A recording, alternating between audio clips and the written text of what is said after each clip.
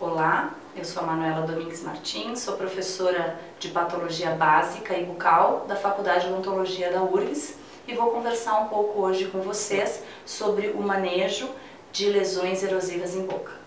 As erosões representam alterações do epitélio, onde nós temos uma diminuição da espessura desse tecido, resultando num aspecto clínico avermelhado. Diferentes lesões podem se manifestar na boca como lesões erosivas, Portanto, a etiologia é bastante variada dessas doenças e nós vamos ter que estabelecer o diagnóstico para tratar adequadamente cada uma delas. Muito bem, para estabelecermos o diagnóstico das lesões em boca, sejam elas erosivas ou com qualquer outro aspecto clínico, nós usualmente seguimos um roteiro. Esse roteiro é chamado de semiotécnica. Nós vamos projetar agora na tela para vocês esse roteiro e nós vamos explicar todos os passos envolvidos no processo diagnóstico. A primeira etapa que envolve o processo diagnóstico é de, denominado de exame clínico. Ela é subdividida em anamnese e exame físico. Nesta etapa, então, nós teremos na anamnese a conversa, o diálogo com o paciente, onde nós vamos obter diversas informações a respeito da identificação desses pacientes, bem como da lesão que ele é portador. Como, por exemplo, qual é a queixa principal que ele tem e qual é a história dessa queixa, bem como tudo o que foi feito para tratar esta condição bucal. Além disso, informações sobre história médica pregressa e história médica atual são coletadas.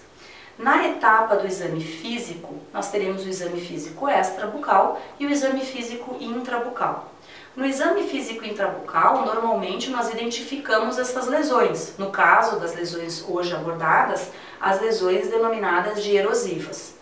Uma vez que a gente identifique essas lesões erosivas, nós vamos descrevê-las qual é o sítio de localização, se são lesões únicas ou múltiplas, se o paciente tem alguma sensibilidade dolorosa, quando que ele apresenta essa sensibilidade, a extensão dessas lesões, se o paciente refere algum tipo de recorrência, se é a primeira vez que ele está tendo essa manifestação. Uma vez que a gente identifique e descreva essas lesões, nós vamos formular as hipóteses de diagnóstico. Essa formulação das hipóteses diagnósticas são uh, descritas na segunda etapa. Então, a primeira é o exame clínico e a anamnese dos pacientes e exame físico. Na segunda etapa, a formulação das hipóteses diagnósticas.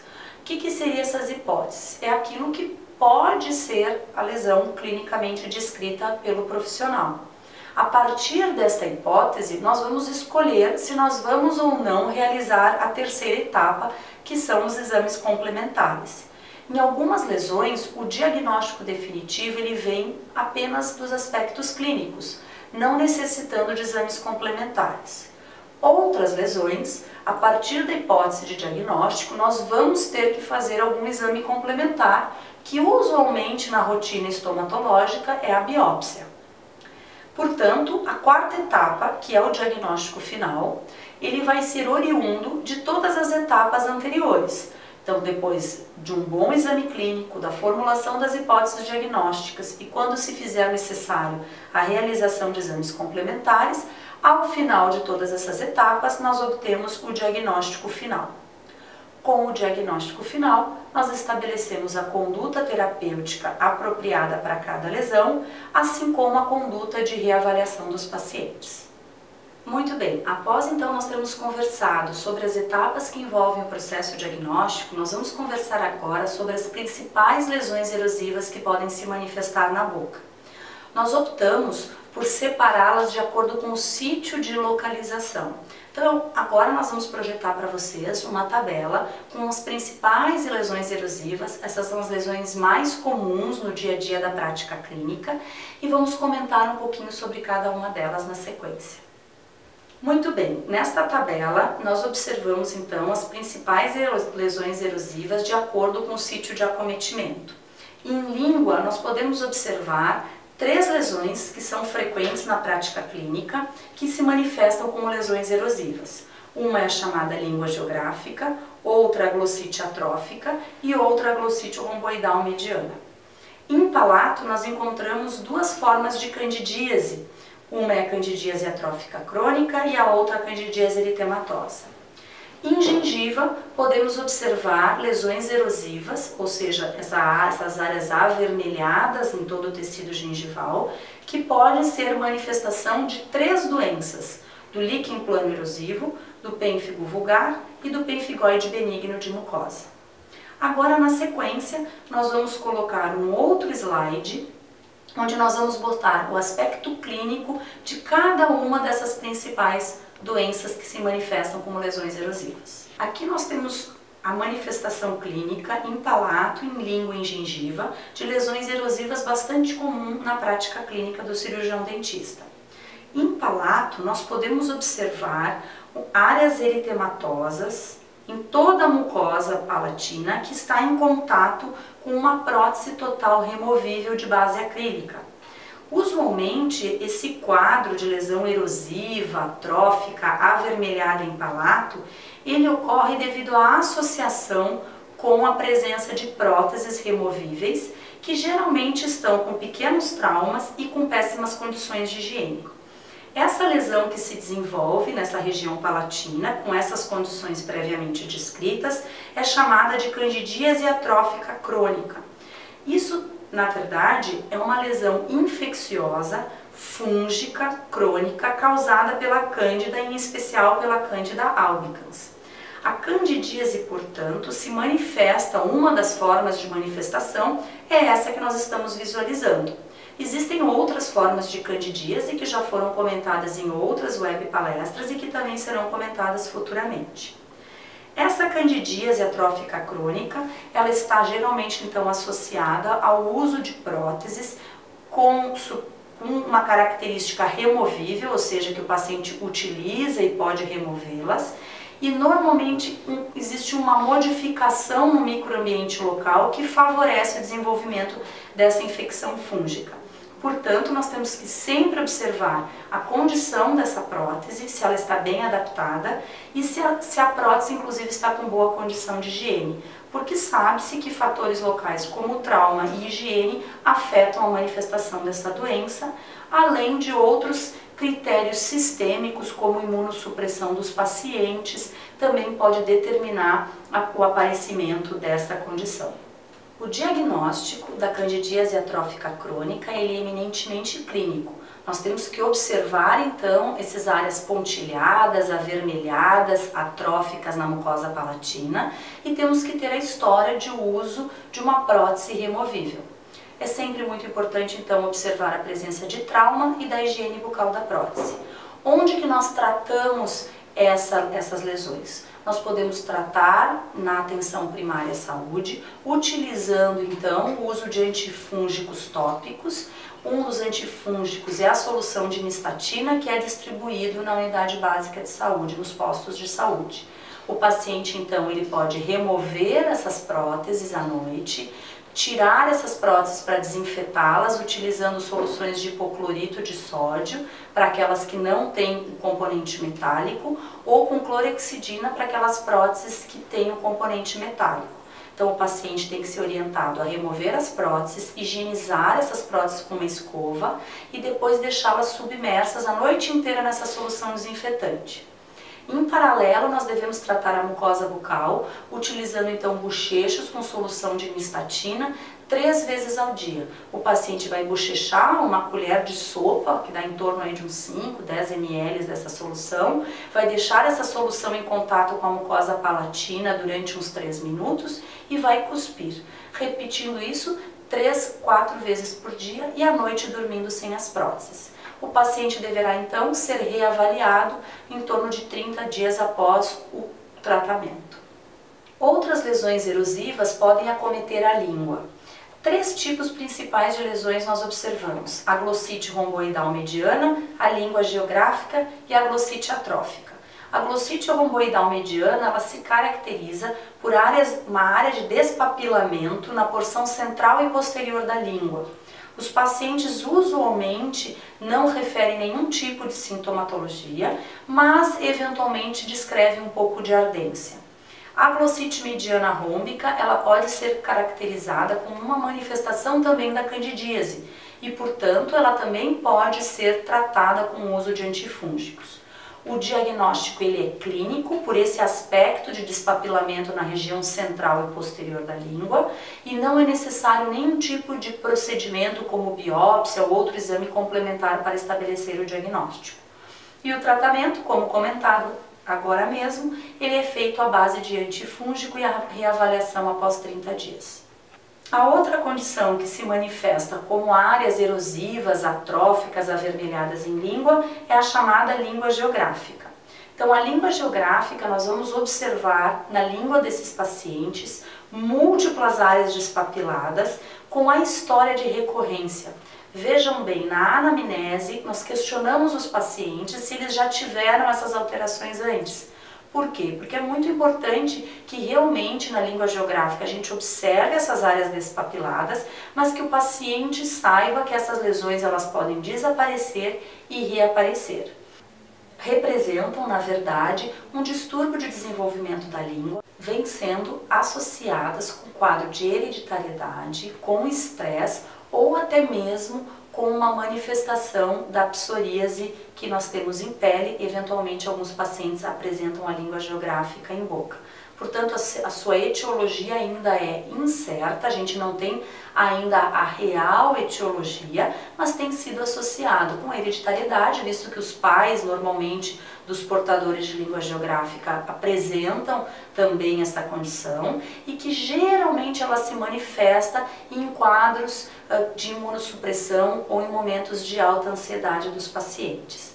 Clinicamente, então, nós observamos essas múltiplas áreas despapiladas que mudam de local, por isso que a língua geográfica também ela é chamada de glossite migratória benigna, porque essas lesões mudam de lugar.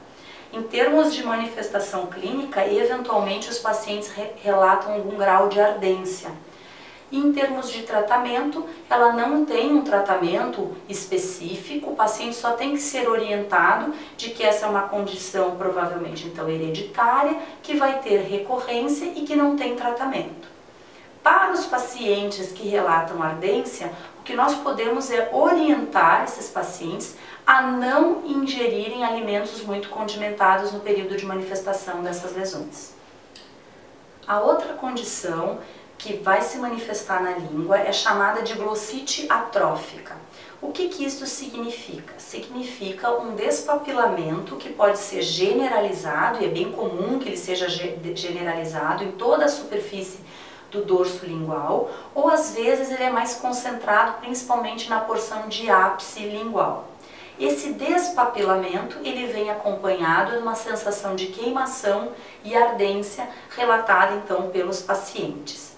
Esse despapilamento da língua, ele deve ser investigado porque muitas vezes ele é o reflexo de quadros anêmicos e de hipovitaminose, em especial a hipovitaminose B.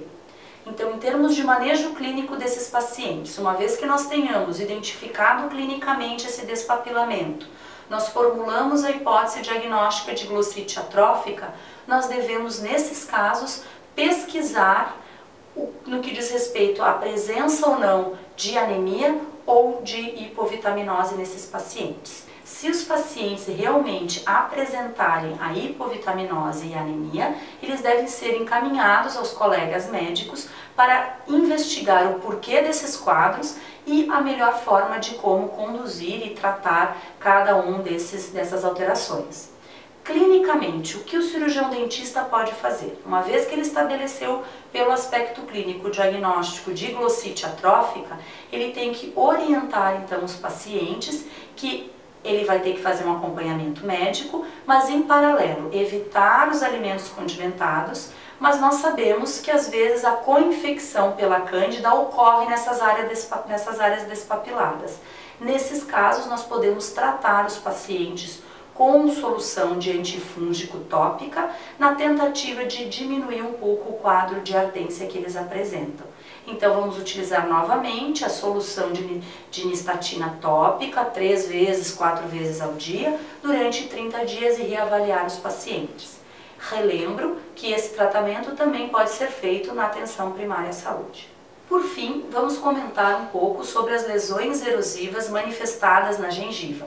Geralmente, essa, esse quadro de lesões erosivas em gengiva, ele dá um aspecto de gengivite descamativa, onde nós temos, como mostrado nesse slide, áreas avermelhadas na margem gengival, podendo também se, se estabelecer na gengiva inserida, e onde o paciente relata um quadro de ardência, desconforto e às vezes até mesmo dor na região gengival. Observando clinicamente, a gengivite descamativa ela difere da gengivite convencional.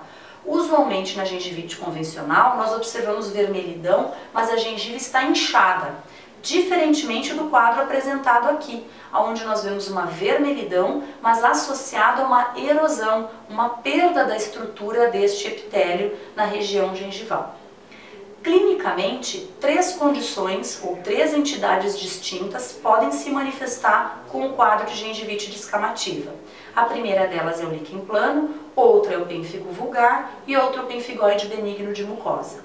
Como nós fazemos então para estabelecer o diagnóstico? Clinicamente, o primeiro passo é, como nós comentamos, é o exame clínico. Na anamnese, geralmente esses pacientes relatam que essas manifestações elas estão ocorrendo ao longo de vários meses, elas têm longa duração. Alguns, inclusive, falam que elas têm a presença dessas lesões em outros locais, como pele, olhos, muco outras mucosas, como mesmo a mucosa genital. Então, é muito importante nesses pacientes fazer uma anamnese direcionada à presença de outras lesões que não só em gengiva. Outro dado importante da anamnese é a presença crônica dessas lesões, é o curso prolongado que essas lesões apresentam. Posteriormente, nós vamos examinar as lesões gengivais e formular então a hipótese de um quadro de gengivite descamativa. Nesse quadro de lesão gengival, é muito importante que se faça a biópsia para estabelecer se é um líquen plano, se é um pênfigo vulgar, se é um pênfigoide benigno de mucosa ou outra qualquer doença que possa eventualmente se manifestar na região gengival com um quadro de gengivite descamativa. Portanto, para estabelecimento diagnóstico, nós vamos somar as informações da anamnese, do exame físico intrabucal, do exame físico extrabucal e do resultado do exame da biópsia, análise histopatológica do espécime. Uma vez estabelecendo o diagnóstico, usualmente o tratamento dessas condições gengivais, por serem todas essas três entidades que nós descrevemos doenças autoimunes, usualmente é a base de corticoide tópico. Então, a gente vai acabar prescrevendo o uso de um corticosteroide tópico e usualmente nós utilizamos uma moldeira de acetato para auxiliar a manter esse corticoide tópico em contato com a gengiva dos pacientes. Lembrando que o uso de corticoide tópico ele pode favorecer o desenvolvimento secundário de candidíase, nós vamos juntamente com o tratamento usando o corticoide tópico, vamos manter o bochecho com nistatina. Então, uma semana antes de começar o corticoide, nós iniciamos a nistatina. Depois de uma semana utilizando a nistatina, que vai limpar a superfície dessas lesões, nós vamos entrar com uma moldeira utilizando o corticoide tópico. Usualmente nós mandamos manipular o clobetazol junto com gel de carboxietilcelulose, o clobetazol a 0,05%, e é, esse gel é utilizado nessa moldeira três vezes ao dia em contato com as lesões. Normalmente a gente acompanha esses pacientes um pouquinho mais de perto, eles usam em torno de 10 a 15 dias e aí nós reavaliamos. Em havendo necessidade, prolonga-se o tratamento e em alguns casos usa-se também corticoide sistêmico. O que, que gostaria de ressaltar para os senhores? é que o manejo dessas lesões autoimunes nem sempre é um manejo fácil, nem sempre é um manejo muito tranquilo. Para aqueles que se sentirem aptos a tratar na, na atenção primária uh, essas lesões, o façam. Para aqueles que tiverem mais dificuldade no manejo dessas lesões, eu sugiro que realmente encaminhem para um estomatologista ou para atenção então secundária ou até mesmo, em alguns casos, os pacientes portadores dessas doenças, por serem crônicas e sistêmicas, necessitam ser encaminhados para atenção terciária. Entretanto, o diagnóstico ele pode e deve ser estabelecido na atenção primária. Muito bem, como foi apresentado agora para vocês, várias lesões podem se manifestar na boca como lesões erosivas. Algumas delas são extremamente frequentes, como a candidíase, a língua geográfica. Essas lesões todas, elas têm um manejo muito simples e muito tranquilo de ser feito na atenção primária. Algumas dessas lesões, como a última que nós conversamos, ela exige um pouquinho mais na capacidade diagnóstica. Entretanto, todas elas podem ser diagnosticadas e manejadas na atenção primária. No caso das lesões sistêmicas, como as lesões de líquen plano, de pênfigo vulgar e de pemphigoide benigno de mucosa, pode requerer então um encaminhamento. O que eu gostaria de finalizar a nossa conversa hoje é mostrar para os senhores que muitas dessas lesões, no momento em que a gente segue todo o roteiro diagnóstico, nós podemos estabelecer o diagnóstico correto e muitas delas nós temos a capacidade de tratar na atenção primária. Um outro dado interessante e que vocês podem utilizar é que em casos de dúvidas, vocês podem estar entrando em contato com a plataforma do Telesaúde RS e fazer então o encaminhamento das dúvidas de vocês para que os teleconsultores possam ajudá-los a estabelecer o diagnóstico e conduzir uh, de uma forma adequada cada uma das lesões. Também no Estomatonet vocês podem se cadastrar e utilizar fotos a partir de smartphones, vocês fotografam as lesões com o smartphone, se cadastram e enviam essas fotos para os, os, nossos consultores e os nossos consultores vão auxiliar vocês na condução dos casos. Também existe todo um tutorial de encaminhamento de lesões disponíveis para os senhores no Estomatonet. Portanto, os senhores podem utilizar a plataforma do Telesaúde para mandar suas sugestões, mandar os seus questionamentos e inclusive avaliar todas as atividades que vêm sendo feitas e que os senhores estão participando. Muito obrigada.